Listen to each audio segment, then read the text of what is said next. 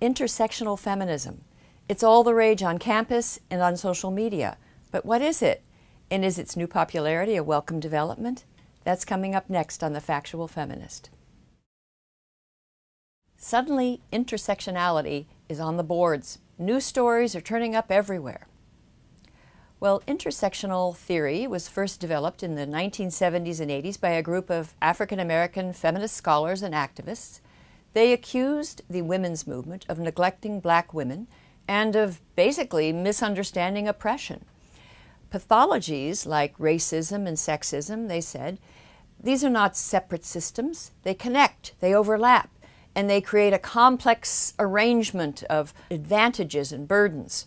So, white women, for example, are penalized by gender but privileged by race. Black men suffer from their race but garner advantage from their gender. But black women are in double jeopardy. They are disadvantaged by both race and gender. Well, Patricia Hill Collins, a professor at the University of Maryland and former president of the American Sociological Association, she's one of the chief architects of intersectionality theory. The textbook she co authored describes the United States as a matrix of oppression. And beneath this veneer of freedom and opportunity, there lies a rigid system of privilege and domination. Now, most Americans don't see it, but Collins and her co author alert students to the fact that the true nature of their society has been hidden from them. In their words, dominant forms of knowledge have been constructed largely from the experiences of the most powerful. And the text promises to introduce students to deeper, subordinated truths. That's their phrase. And they, they say they're going to avoid Western and masculine styles of thinking, which can obscure these truths. Well, according to the theory, those who are most oppressed have access to a deeper, more authentic knowledge about life and society. In short, members of privileged groups, especially white males, should not only check their privilege, but they should listen to those they have oppressed, because those groups possess a superior understanding of the world. Now, initially, the primary focus of intersectional feminism was on black women, but the number of victims quickly multiplied. This graphic from a popular women's studies textbook includes 14 or 15 marginalized identities. The factual feminist is concerned now, there are social scientists who use a sensible, non politicized version of intersectionality to understand complex social identities. I have no quarrel with them.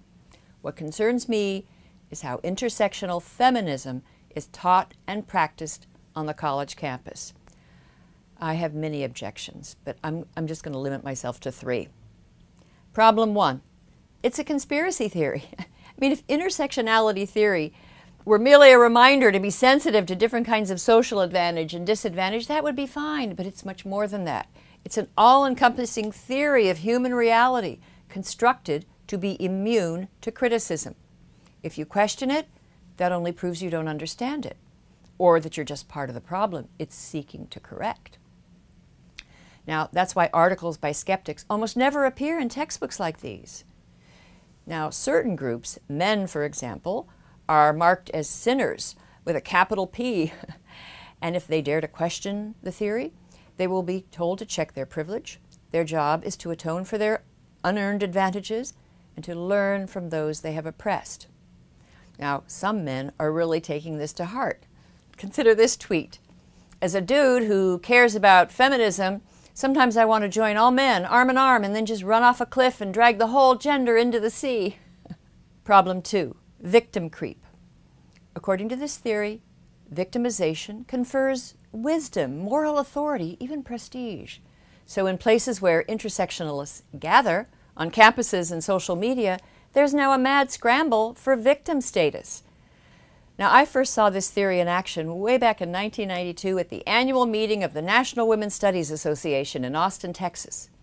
Now, the conference organizers had imbibed the lessons of intersectional feminism, and they were struggling to honor all identities.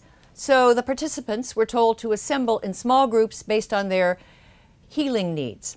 So there were groups for Asian women, African American women, elderly women, Jewish women, disabled women, fat women. None of these groups proved stable.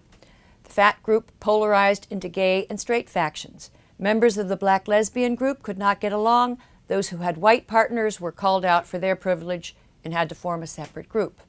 And new identities emerged. A group of women with allergies formed a caucus and issued a set of demands about not wearing dry cleaned clothing or hairspray. It was a conference of scholars, but we didn't resolve our differences through rational discussion. Instead, intersectionality created new reasons for anger and devoured itself. The conference ended with songs and healing rituals. Problem three bullying. Intersectionality tells us that white males are in charge of the capitalist white supremacist patriarchy and that they enjoy most of the unearned privilege. So, on many campuses, that has given marginalized victims permission to treat them badly. Ironically, members of the insider victim class now routinely do to others what they accuse the privileged class of doing to them. They stereotype, demonize, shame, and silence people. Now, what often happens with morally inflamed groups has happened here. They've begun to turn on each other.